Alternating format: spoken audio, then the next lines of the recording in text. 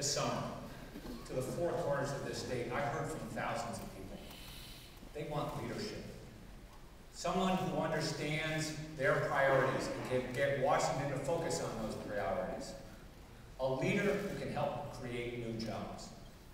The question is, what are we going to do about it? We can elect a United States Senator who knows what the people's priorities are, as I do.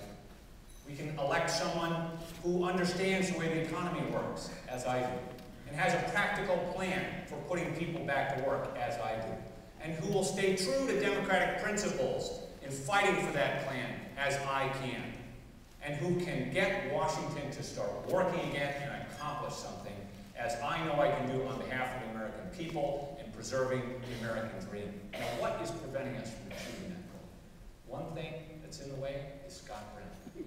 I believe that I, as the only candidate in this race who has defeated a popular incumbent Republican, can be the best candidate and the Democratic Party's best hope for winning this election and giving voice to the American people, the people of Massachusetts down in the United States Senate.